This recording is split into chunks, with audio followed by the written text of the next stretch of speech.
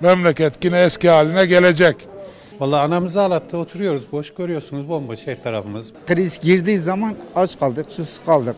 Sırf bizde değil, dünyada böyle. Kaz zararın kardeşi diyeceğim. Bu iş böyledir. Koronavirüs döneminde esnaflarda zor anlar yaşadı. Birçok esnaf pandemi nedeniyle kepenk kapatmak zorunda kaldı. Biz de Raf Sokak'ta ekibi olarak pandemi dönemini bir de esnaflardan dinlemek istedik. Bakalım ne cevaplar aldık. Pandemi sizi nasıl etkiledi? Ya biz yaklaşık iki yıldır Muğla Fethiye'deyiz. Ee, çalış sahilinde bizim otelimiz ve barımız var orada. Bu pandemi bizi çok kötü etkiledi. Yeni olduğumuz için şirket adına kredi alma imkanımız olmadı. Ee, zaten bu durumda yanımızda çalışan 10-12 kişi vardı. Onları çıkartma şansımız da yok. Yasaktı zaten. Ee, çok büyük sıkıntılar. Yani orada mülkiyet sahibi olan bütün esnaf e, 2020 sezonunda komple aldı şey yaptı. Ee, dükkanlarını kapattı. Zaten buradan bir kazancımız olmayacak. Bari giderimiz de olmasın falan diye. Ama şeyler kiracı olanlar mecburiyetten e, kirayı ödemek adına çalışmalarına devam etti ama sıkıntı. Sıkıntı çok büyüktü yani. Personel maaşlarını öderken sorun yaşadınız mı? Tabii ki tabii ki. SGK'da yani maaşları düzenli ödenmiyor. Ondan sonra barda müzik sistemi yasaklandı. Masa araları, denetlemeler sürekli. Çok büyük sıkıntı yani. Sadece biz değil. Oradaki bütün esnaf. Pandemi bizi çok kötü etkiledi. Biz çanta valiz sektöründeyiz. Yani seyahatler durdu, okullar durdu. Ya okullar kapalı şu an için hala açılmayı bekliyorlar ama yani zannetmiyorum açılacağını. Bir iki hafta açılır ama tekrar kapanacaktır yani okullar. Ya destek açısından da yani devletimiz kredi verdi ama destek konusunda hiç fayda alamadık. Destekleri alamadık biz. Yani ben hiç alanda duymadım esnaf olarak. Esnaf arkadaşlarımıza soruyoruz. Hiç kimse destek alamadığını söylüyor. Bu konuda biz muzdaribiz yani. Peki destek kredisini ödeyebiliyor musunuz? Destek kredisini tabii şu an işler durgun olduğu için ödeyemiyoruz. Bu destek kredisi ertelendi ama yani nereye kadar ertelenecek? Ne zaman işler açılacak? O konuda yani önümüzü göremiyoruz biz. Önümüz meçhul. Yani herhangi bir üst yöneticilerden de çarşıya gelip ziyaret eden, halimizi, hattımızı soran, işlerinizi nasıl soran diye bir şey yok yani. Yöneticiler de gezmiyor. O yüzden muzdaribiz yani bu konuda. Ha, müşteriler geliyor işte oturma olmadığı için yiyemiyorlar, içemiyorlar. Ancak paket olaraktan götürüyorlar. Bu çok etkisi oldu bunun yani. Bizim zaten iş, burada kete, turşu, bardakla yenir içilirdi. O olmayınca işler tamamen durdu. Devletin esnaf desteğinden yararlanabildiniz mi? Hayır yararlanamadım. Valla bilmiyorum bize artık ne ve ne için gelmediyse yani ben de vergi olaraktan az gösterdiğimiz için mi oluyor? Kiraların fazla olduğu zaman veriyor da yani bizimkinin fazla olmadığı için onun için biz ben almak istemedim yani 2 yıl 3 yıldır olduğu için. Pandemi bizi etkiledi, etkilemedi değil. E, şu anda biz tabii e, şöyle çekim yaparsanız masamız, sandalyemiz, sandalyelerimiz bütün e, tersine dönük.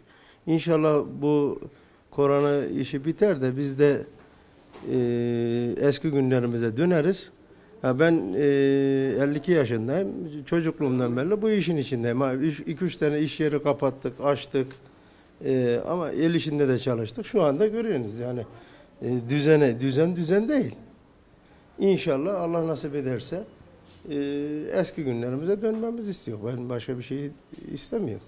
Şimdi ben e, Kayseri merkezde 30 senedir ticaretle uğraşıyorum. İşte valiz, çanta, saraciye işleri yani 100 tane biz valiz alıyorsak 80 tanesini üniversite öğrencisine satıyoruz.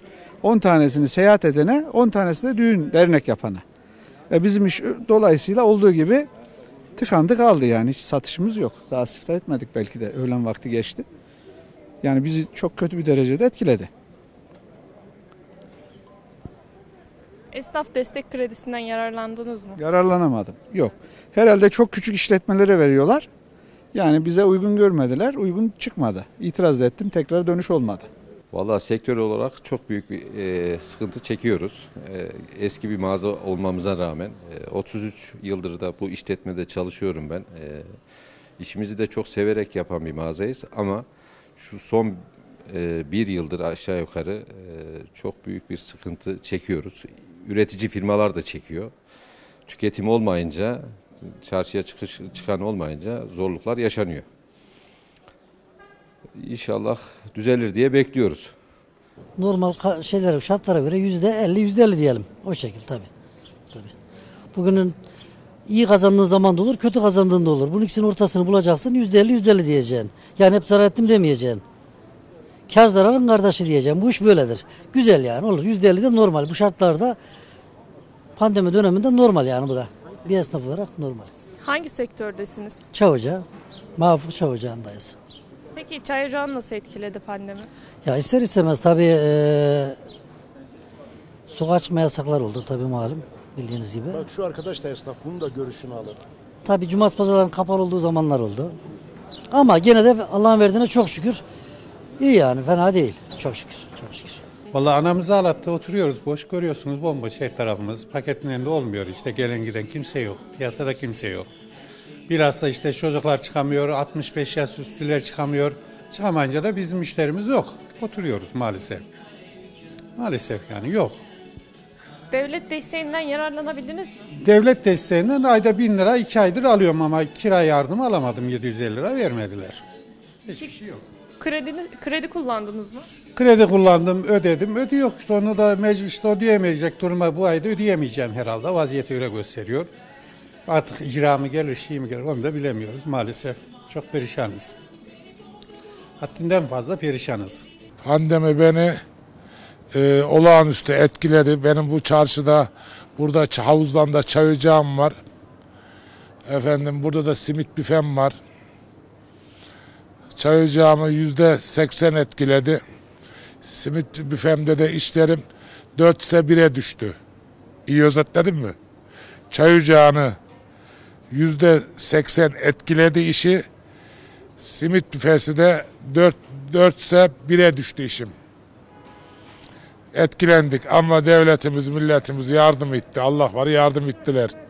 Pandemi sürecinde. Kredi verdiler, para verdiler. Böyle böyle biraz da biz iş yaptık. Altından kalktık çok şükür. Kalkmadık diyen yalan söyler. Devlet destek kredisini kullandınız mı? Kullandım. Çay ocağına 25 lira kullandım. O 25 lira veriyorlar da kredi. Onu çektim kullandım. Ondan sonra başka biz ne kredisi aldık? Ayrıyeten de kira yardım kredisi aldık. O 1 lira mı 750 lira mı onu aldık. Onu da kullandık. Efendime söyleyeyim. İyi ya yine de Allah'ın izniyle şeyi atlattık. Bundan sonra daha iyi olacak inşallah. Peki siz kredilerinizi sorunsuz ödeyebiliyor musunuz? Ya tabii iş eski iş yok ama dünyada iş yok. Biraz so- sorun yaşıyoruz ama ne yapalım kızım işte yavaş yavaş ödüyor. Bir şeyler ödüyor. Ne, Allah var ödüyor ya. Mecbur ödeyecek. Ya sorun bir Türkiye'de değil ki dünyada var sorun. Ama önümüz yaz, bahar. Pazartesi bahar. Baharın sonu yaz. Yazında yine bu memleket gurbetçi memleketi. Gurbetçi, Almancı onlar gelecek. Türkiye'ye turist gelecek Allah'ın izniyle. Ekilecek, dikilecek, biçilecek.